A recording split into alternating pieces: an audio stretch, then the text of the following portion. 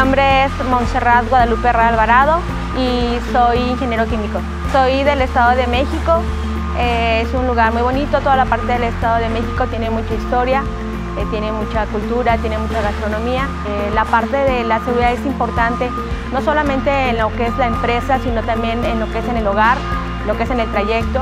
Me ha dejado una satisfacción muy grande estar en lo que es el área de seguridad, porque puedes prevenir una lesión. Es importante que cada persona que llegue a su casa llegue íntegra, llegue bien de, pues, de las manos, llegue bien de todos sus miembros.